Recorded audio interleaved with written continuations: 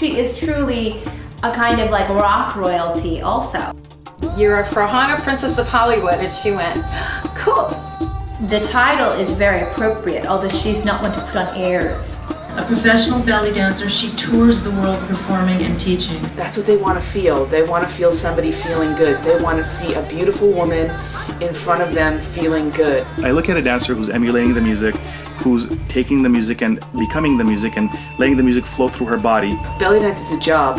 Belly dance is a very serious job. It's a living art. It's constantly changing. That's always been my goal for women in general to just accept themselves, go beyond accepting themselves and love themselves for who they are. She has this really pure, naughty side to her. Mixing burlesque and a belly dance is definitely one of those things. I'm sure there are people that don't like it. Maybe they feel that discounts her. But you goddamn crap is what it is.